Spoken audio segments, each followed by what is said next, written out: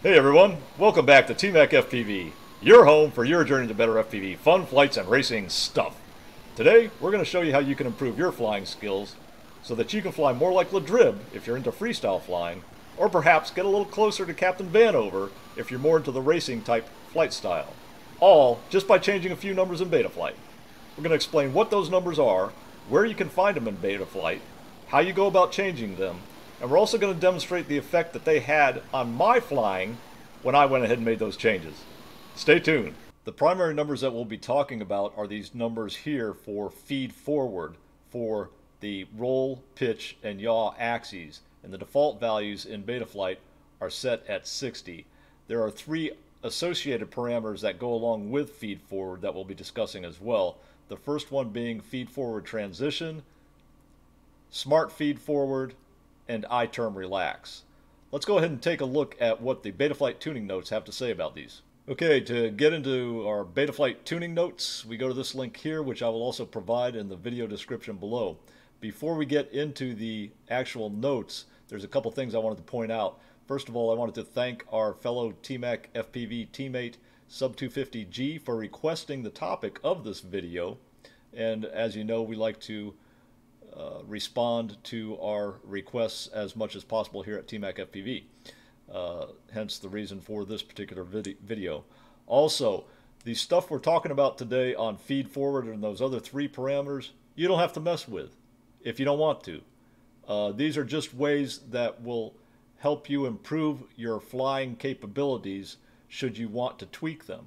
So if you don't want to mess with them, don't mess with them, go with the defaults. Uh, Another thing I wanted to mention is keep in mind the different flight styles. Uh, the freestyle versus racing type uh, flight styles uh, because the numbers and what you do with those numbers uh, will be different for the type of flying that you want to do in addition to the particular quad that you're flying. So if you're flying, if you've got two freestyle quads, and one's built differently than the other, one weighs differently than the other, then you'll have to tweak the numbers so that you get the appropriate stick feel uh, for each of those particular quads. I also remember I'm not guaranteeing that you're going to fly like LeDrib. I'm not promising that you're going to fly like LeDrib, and I'm not promising that you're going to fly like Captain Vanover by the end of this video. But by tweaking these numbers, it'll give you uh, increased capability and actually help improve your flying. So you maybe inch a little bit closer to one of them if you want to.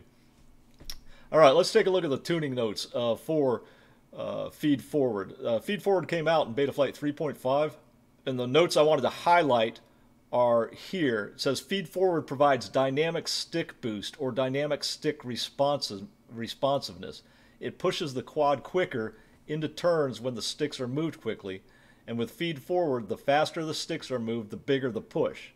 It doesn't wait for any error to develop, the response is instantaneous. We'll talk about that with one of those other parameters, uh, one of those other three parameters which I mentioned earlier. The feed forward effect is attenuated around center sticks by the transition parameter. Oh, here we go. This is what I was talking about. So the quad can be made more damped or less twitchy around the center for freestyle type flying so the quad can be made more damped or less twitchy around center for freestyle type flying by setting transition to 0.5 or 0.1 as usual, but for racing and for direct responses, it's best to leave the transition at zero. So here's an example of where you're going to change this number, the transition number for freestyle, somewhere between 0.1 and 0.5 whereas for racing type flying, you'll want to leave it at zero. Zero feed forward, not the transition we're talking about here, but zero feed forward allows D, the D term in the PID loop, to dampen the quad all the time, even when the quad is instructed to turn quickly. Too much feed forward, if you increase it too high, you may make the quad too twitchy and it may cause overshoot. And in the demonstration, the flight demonstration of my uh, abilities by changing the feed forward values. Uh, that actually happened to me because I was trying to uh, get it to the point where it was ridiculous uh, for my type of flying. and my particular quadcopter. Also remember that we're doing this video in relationship to micro quads. Uh, I used to have a 5-inch quad, and then I did some durability testing on it, and it failed. Uh, so now uh, I don't even own a 5-inch quad, and this channel is primarily for micro FPV quadcopters. So we're focused on micro FPV here, and with that in mind, also when you're talking about freestyle, micro FPV quads, I was going to grab one here, micro FPV quads weigh a lot less than 5-inch quads or mini quads. Therefore, they're not going to have the same amount of momentum when you're uh, coming out of a, a, power loop or trying to flip over a, a tree or something like that. 5-inch quads, because they weigh so much and they've got so much power in those motors, you can flip them and, and toss them up over a tree and let them float. And they've got a lot of momentum uh, to be able to do that. But if you try to do that with a micro quad, because they don't have a lot of weight, therefore they're not going to have a lot of momentum, and you're actually going to not float uh, in those maneuvers. So there's that difference between micro quads and uh, mini quads, if you will, with regards to freestyle. So if you're trying to do freestyle with micro quadcopters, you'll want to tweak these numbers and any numbers you can in order to get that floaty type feeling when you're doing those acrobatic uh, maneuvers for freestyle. All right, so that's what the Betaflight tuning notes uh, say about uh, feed forward from uh, Betaflight version 3.5. Let's go back into Betaflight and uh, take a look at how we can go ahead and change those parameters. Okay, here we are back in Betaflight and uh, under feed forward, these are the midpoint values as was mentioned in the Betaflight uh, tuning notes. Uh, these are the default values of 60. For my experimentation purposes is what I've done is I've only changed the value on the yaw axis from 0 to 240 in increments of 60. I believe uh, I've changed on the quadcopter that I'm flying the feed forward value on roll and pitch axes to it's either 80 or 100 uh, but whatever that value is during the demonstration flights I've kept it constant. So the only variable I'm actually changing throughout the demonstration flights is this value of feed forward for the yaw axis. And there's a reason I was working on the yaw axis. And that's because what I found out was with the default value that I was using uh, on the yaw axis when I was trying to do corkscrew maneuvers through uh, one of the very good quadiction pop-up gates by the way uh, I was having a hard time or I was struggling trying to keep the gate in my field of view because the way my thumbs are working on the transmitter, uh, especially when I was trying to do a right corkscrew, I was having a hard time with my uh, left thumb and the yaw axis getting the quadcopter to turn and yaw facing the gate as I was doing the corkscrew. So it felt like I was basically trying to turn an ocean liner as opposed to it being more responsive on the yaw axis so that I could keep the gate in my field of view. So that's the reason I was working with uh, experimenting with the values on the yaw axis only and I took that from zero which was not good to 240 which wasn't good and I uh, settled on somewhere in between and uh, spoiler alert uh, my in-between number that I'm going to be using for that particular quadcopter for my style of flying uh, which is more a race type style in my backyard, uh, working on uh, various maneuvers, slaloms, corkscrews, things of that nature. I'm going to go ahead with 150 on the yaw axis as opposed to the value of default value of 60. So from now on, for that particular quadcopter, my value of uh, feed forward for the yaw on that micro uh, 3 inch quadcopter is going to be 150 and these values I think I've got set at uh, 100. Uh, these are both 100. I'll go ahead and put those in here now. So that's what my feed forward values actually look like. Uh, the other parameters that we want to take a look at is the feed forward transition. And any of these values over here that you need more information on, uh, you, once again, you can probably go in the Betaflight tuning notes, but they've also uh, provided us with these little question marks over on the side, which you can hover over and see a brief description of. Now's a good time also to make a point that uh, I don't know about you, but I didn't pay for this Betaflight uh, firmware, software, uh, user interface tool to program my quadcopters. I don't think anybody has. And the developers of this uh, Betaflight software don't get paid either. They do it for free on their own time. So with that in mind, if you wanted to support further development of Betaflight and support the developers who work on this uh, Betaflight software program for us, you can do that through a link in the video description below. So let's take a look at this uh, feed forward transition question mark. Uh, with this parameter, the feed forward term can be reduced near the center of the sticks, which results in smoother end of flips and rolls for freestyle uh, type things because you don't do a lot of flips and rolls in racing style flying. Uh, you can change this in increments of 0.01 from 0 to 1. The default setting, I believe, is 0.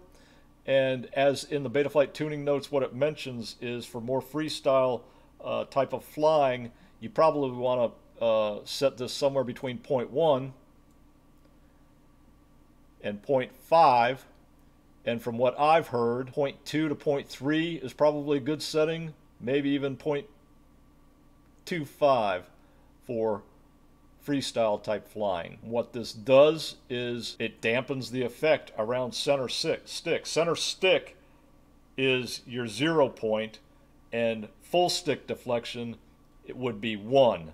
So if you set it at 0.25 then the feed forward transition it's reducing near the center of the stick within 25% stick movement the actual impact of the feed forward term. It's uh, proportional up until that point.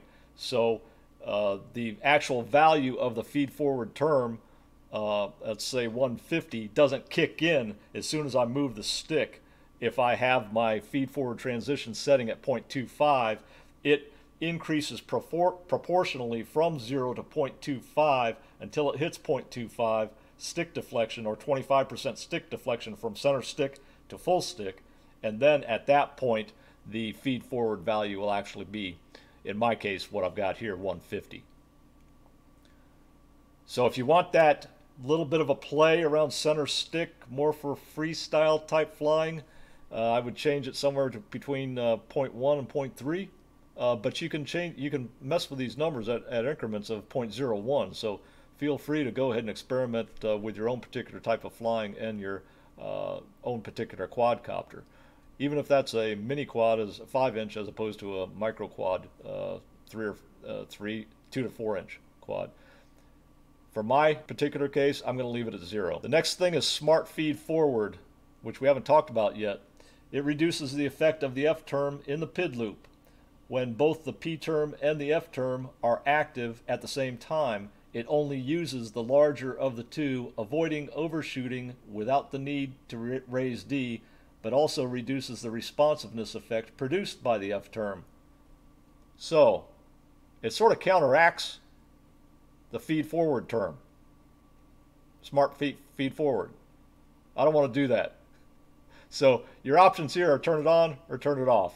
I'm going to leave it off. The last uh, parameter that we wanted to talk about was this I term relax. You can turn it off or turn it on. If you turn it on, you've got the option of choosing which axes have it activated for. The default is roll and pitch. Uh, what it does is it limits the accumulation of the I term when fast movements happen. This helps specifically to reduce the bounce back at the end of rolls and other fast movements.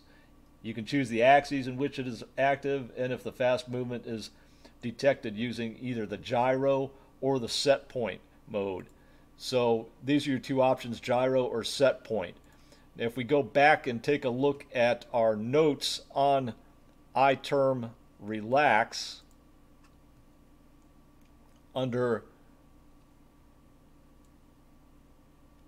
Betaflight 4.0 tuning notes, iTerm Relax cuts the rate of growth of I during fast movements. It reduces I-related bounce back or overshoot uh, after fast inputs. Basically what these notes say for improved set point mode iTerm Relax is that for racing type flying, you want to use the set point mode and it talks about values that you can uh, take a look at based on your quadcopter size and weight and things of that and prop size, things of that nature. Uh, and for more freestyle or line of sight oriented the gyro term is better because gyro mode with excessively low cutoff frequencies are not ideal for racing or very tight spiral turns around flags or gates because the quad become a bit unpredictable in how it handles tight turns. Uh, so gyro mode is more used for freestyle or line of sight oriented type flying, whereas set point is better for racing type flying. Now I will tell you this, uh, LeDrib in his uh, rates and profiles, uh, he uses gyro, and Nurk, Paul Nurkkala, uh, the racer, uses set point. As a matter of fact, I've got links to both uh, LeDrib's and Nurk's uh, settings in the links in the video description below if you want to go ahead and check those out. So let's go back to our Betaflight and I term Relax. I'm going to have turned on but for my type of flying, I'm going to keep it at set point. Once again, in the flight demos, which we're about to take a look at, uh, the only value which I'm changing is the feed forward value on the yaw axis. I'm keeping the other feed forward I'm keeping the other feed forward values constant and I'm not changing the feed forward transition from zero at all. I'm keeping smart feed forward off and I've got iTerm Relax on for the roll and pitch axes using set point. One of the things I wanted to mention was we researched whether there were any inherent differences with regards to feed forward values for micro quads as opposed to 5 inch quads. Uh, we asked that of uh, Betaflight Dev, and his response was there are no unique aspects of feed forward to micros or 5 inch quads. It's going to depend on the responsiveness of the quad to movements, just go ahead and just go ahead and tune the feed forward values based on stick feel. Of course, when creating this when creating this video, that made it a little bit difficult for me to come up with some sort of objective way to describe to you how the feed forward values or the different feed forward values felt. How, how do you describe a feel? I can use words, but it's not the same as you seeing it. So I can use words such as the higher feed forward values, the more responsive the quad is when you increase those values on a particular axis. It feels like driving a sports car as opposed to uh, ocean liner. Uh, you can turn on that axis quicker than uh, more slow roll on that particular axis if you had lower feed forward values. I could use words like that, uh, but you can't really tell the difference yourself unless you feel it. So the only other way I could think of to convey to you the differences of feed forward values was to do these demonstration flights. And as I mentioned, the only thing I'm changing is the feed forward value on the yaw axis from 0 to 240 in increments of 60.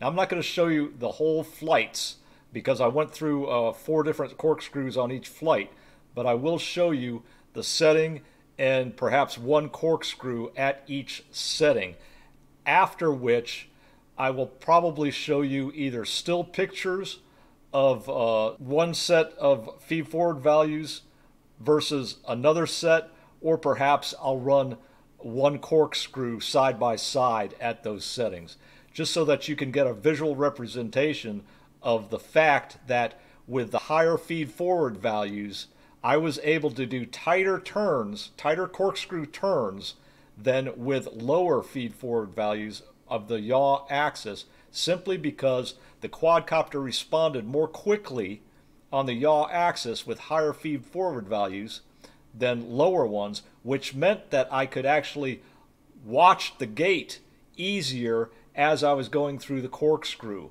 I was able to keep the gate uh, in my field of view and I was able to rotate on the yaw axis more quickly, which meant that I could do an actual tighter corkscrew than with the lower feed forward values where I'd have to do a bigger corkscrew just in order to give me time to yaw and keep the gate in my field of view. Hopefully that comes across in these demonstration video, videos in either the side-by-side -side or the still picture at the end. And uh, let's go from there.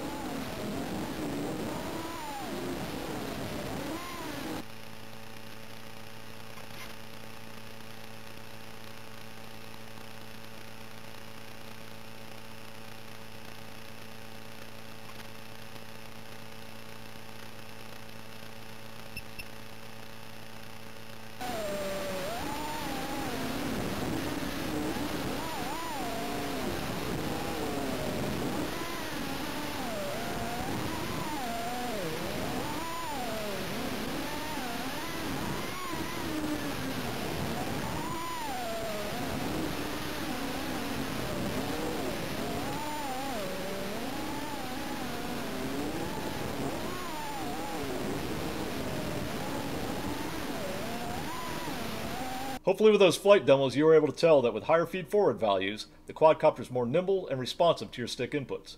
If you're a freestyle pilot, remember to experiment with the feed forward transition values between 0.1 and 0.3 and try setting your iTerm Relax to gyro. If you'd like to see more Betaflight Micro FPV videos, check out the link to our playlist in the video description below. If you like the video, give it a thumbs up. Share it with your friends and if you haven't subscribed, what are you waiting for? Come on, hit that subscribe button. We'll see you next time. Clear skies, friend.